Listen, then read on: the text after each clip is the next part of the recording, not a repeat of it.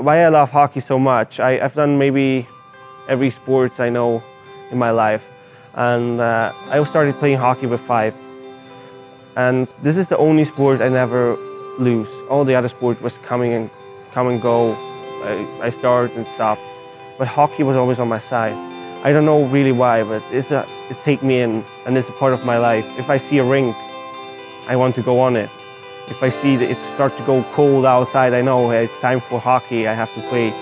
And I don't know really, but it's like I'm in since, since my whole life. I cannot imagine how my life would be without hockey. I don't know why. It's just the spirit of hockey.